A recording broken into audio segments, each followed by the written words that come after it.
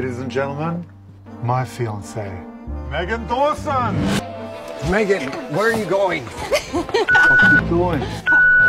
Whoever the fuck you are, don't let me see your face around here again, or I swear I will kill you. Brother needs me, okay? All you need to do is play with my and I'll take pity on him. Fine. Get Justin on the line. Tell him we found Megan and they're gonna get married.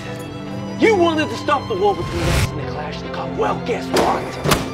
This is how. You just think he's some guy I met a few days ago, right? Better put the family first. Come on, you're never gonna be dead. You forced me to marry someone I didn't love.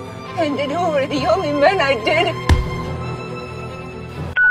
Clint. Then you me. No choice.